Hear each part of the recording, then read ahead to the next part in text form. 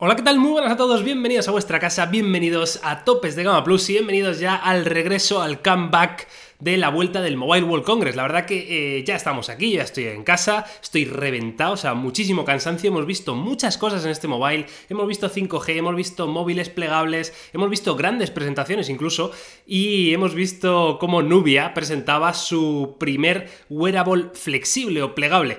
Así que dije, esto tengo que verlo.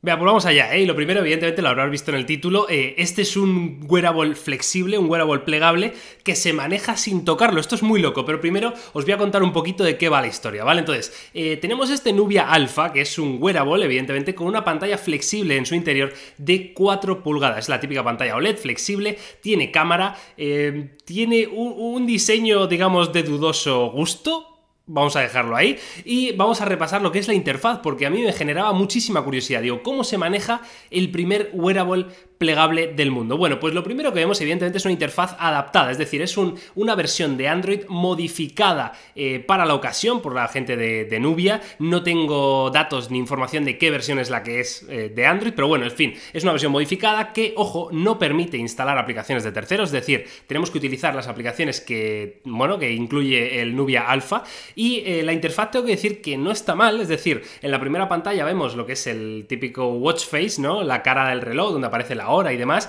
Y si deslizamos en la parte de arriba tenemos eh, accesos rápidos de tipo apagar el wifi, encender el bluetooth, eh, calibrar el brillo de pantalla, etcétera, etcétera, ¿no? Luego todo el menú, todos los demás accesos que vamos a tener con Nubia Alpha van a estar deslizando izquierda y derecha, ¿vale? Vamos a ir viendo cómo cambiamos entre pantallas, por así decirlo, con diferentes colores asignados a cada pantalla. Unas, por ejemplo, para aplicaciones de deporte, de salud, de actividad física, otra para aplicaciones tipo galería, teléfono, eh, yo que sé, llamadas, ¿no? O sea, cualquier cosa de estas, y otra para otra historia, ¿no? Van cambiando de color y están bastante bien, em, es decir, la manera de, hacerlo pues no es mala, pero sí que es verdad que, por ejemplo, tú entras en la aplicación de teléfono para llamar y al marcar los números, pues son pequeñitos y se hace difícil em, acceder a ellos con el dedo. Luego, evidentemente, vas a, poder ver eh, un vídeo en pantalla completa, voy a poner muy entre comillas, en tu super reloj wearable, pues vas a ver un vídeo en formato panorámico. La verdad que se veía bien. O sea, mm, no sé para qué usos eh, podría tener esto, pero desde luego si quieres ver un vídeo lo puedes ver.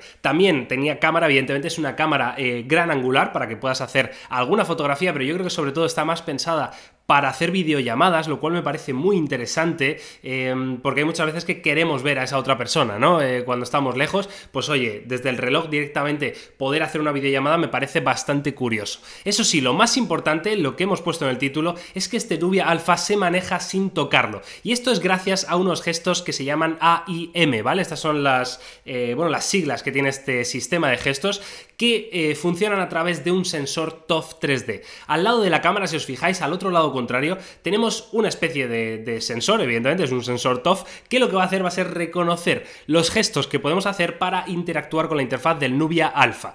Tengo que decir que los gestos había que hacerlos em, bastante rápido, o sea, no, no había que hacerlo como muy despacito, pasando la mano para que detectara, no, no, que va, eran gestos rápidos, gestos largos, es decir, eh, tenías que hacer un movimiento grande con el brazo incluso para que te lo detectara, pero la verdad que había que hacerlos a poca distancia, o sea, no era algo em, demasiado exagerado como vimos, por ejemplo, en el LG G8, ¿no? Que había que poner la mano eh, casi que si la ponías muy cerca o muy lejos ya no te detectaba, no, esto está bastante bien, está bastante bien, de verdad. De hecho, cuando lo estuve usando un ratito, las primeras veces como que no, era capaz de hacerlo, pero enseguida que pasó un minuto ya me fui adaptando y pude moverlo sin problema. Esto evidentemente nos va a permitir movernos por toda la interfaz sin tocar el reloj, lo cual es muy interesante. Es muy las películas estas de ciencia ficción, ¿no? Que aparece un tío aquí con un brazalete y empieza a hacer así en el aire y escribe y hace cosas, ¿no? Bueno, pues esto es el primer paso, evidentemente. Em, no podíamos, por ejemplo, interactuar con la interfaz, o sea, me refiero más allá de moverla, no podíamos abrir una aplicación, no podíamos escribir escribir, esas cosas, ¿no?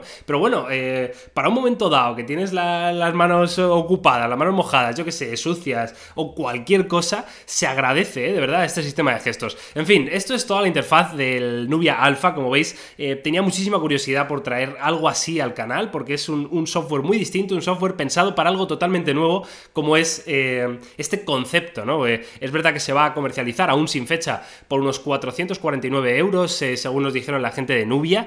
Em, pero bueno, yo, yo no, lo vería como un producto para comprarlo ahora, sino como un primer paso. Estoy seguro que muchísimos fabricantes van a... Eh, bueno, ir por este camino, ¿no? En futuros wearables que hagan, caso de Samsung, caso de Huawei, caso de otros grandes fabricantes, estoy seguro de que veremos esto, pero quizá hay que pulir un poquito el diseño, pulir un poquito interfaz y, que todo funcione un poquito más eh, de manera estable, ¿no? En fin, espero que os haya gustado, me encantará saber vuestra opinión, qué os parece este Nubia Alpha, eh, qué os parece la interfaz, qué os parecen los gestos y nos vemos pasado mañana con un vídeo nuevo. Ah, ya vuelve, por cierto, ya vuelve la actividad normal al canal, ¿vale? Ya con vídeos un día sí, un día no, nuestros vídeos de aplicaciones, estupendas. Eh, y nada, nos vemos pasado mañana. Que vaya bien. Chao.